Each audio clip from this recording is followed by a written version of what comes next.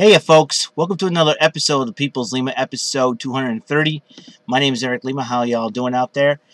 Um, there's a, a, couple of things I wanted to get touch base on before we get started. Um, from now, from here on in, I will not talk about my uh, job situation on YouTube because I know a lot of executives over on the company that I work with um, watch watch these videos. Just watch watch these videos, and um, I don't want to get in, in, hot water with any of them. Um, and another thing is I will not complain about the weather uh, as far as the winter weather is concerned. And uh, reason being is that, you know, my attitude towards the winter, as you know, I hate the winter, obviously.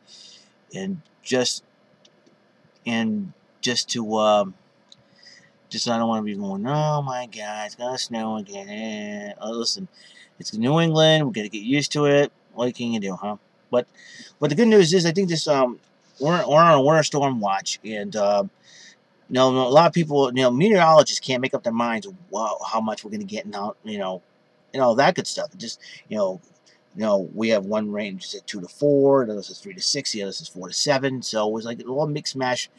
And if I say this, I, to me, it doesn't matter. If we stay south of, the, of a foot, we're okay, you know. Uh, it's it it's nothing compared to what we had uh, a couple weeks ago as far as uh, a little over a week ago as far as you know, the blizzard of 2015 is concerned. So um, I may not be on here online for a while. It all depends on how this uh, how the storm system goes. You know, I hope it goes smoothly for us, and I hope uh, and hope and pray that um, everything will be uh, all right. Hopefully, we'll get out of here. And, you know, and uh, I know we all want. you know, we're all sick of snow. We all want spring. We all want summer. Hey, I'm one of you guys out there. So, yeah, and those of you who like snow, hey, you know what? You got more than enough. You know. And the only problem is we have where to put it all. That's, you know, I think a lot of people getting sick of that too. It's like, you know, it's costing people a lot of money, you know, and everything else. So we don't, um, we'll find out what what what goes down, and um, when I get back from the snow shoveling venture, I will uh, report on what's going to be what the goings on there. But I will not complain about the weather on here or complain about my job current job situation on here. Um, you know, it, it, this one this one's a part-time job, but I should be thankful for it. But sometimes you know when you want to you want to kick things up a notch, you're like, okay, what what can I do? You know, what can I go? I mean, like I said, I've been playing online and all that, so we'll see what happens from here on in, and um, we'll see what um, what the future holds and for what 2015, the rest of 2015 holds for me. So I got to, uh, you know, just just do my thing and just uh, just do my thing until until things change, and uh, I should be thankful for the changes. I mean, I'm not getting any younger either, so that that that goes into account as well. Well, I finally did something I haven't done in a while due to all this craziness is take a shower. And look at me, I'm well shaved and well clean. And you like my Super Bowl hat? You like my Super Bowl hat? Yes, right. Four times Super Bowl champions. And everybody's, you know, I watch these YouTube videos of Patriot fans reacting to, to the interception and whatnot. That to Malcolm Butler's interception, and that is just makes my heart feel good to see other fellow Patriots fans get excited. Now, I would have done that, but I did that for the World Series, of course.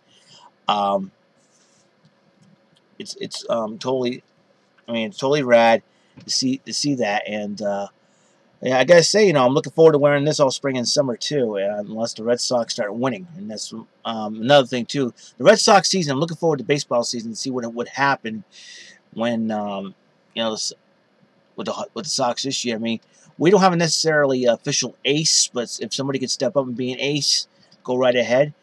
Um, you know, we have uh, Wade Miley, uh, Rick Porcello, um, still got Buchholz, you got still got Joe Kelly in there, and we have the returning Justin Masterson, and there's your five-man rotation, which is I think, yeah, you know, we'll see what happens there. Um, the lineup's gonna be a little different, obviously, with uh, you know, uh, Cespedes is out. He got traded to Detroit. And we got um, Rusney Castillo. We got Pablo Sandoval. And Hanley Ramirez added to the lineup with Pedroia and Napoli in there. And uh, I think Vazquez will be the new catcher um, for the um, for the 2015 team. So it'll be very interesting to see how this goes down, how this plays out. And, uh, you know, I don't know. I'm looking forward to 2015, the rest of 2015, obviously. Um, I'm curious what it brings and what will happen. And, uh, And, uh, you know, I praise God for 2015, you know. Um, mm. And uh, the only, the only, the probably the only problem I will have in 2015, hopefully be the only problem, is where am I going to go for the summer? want to go on vacation. And as you know, I'm going back to my job. You know, I'm reaching five months in May. I'm five months, five years in May, working for the company at the mall.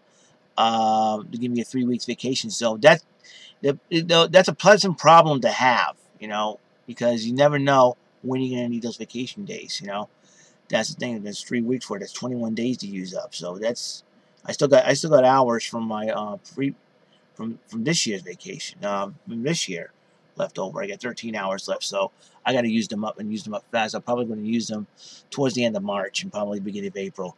You never know. Um, that's what my plan plan of attack is for right now.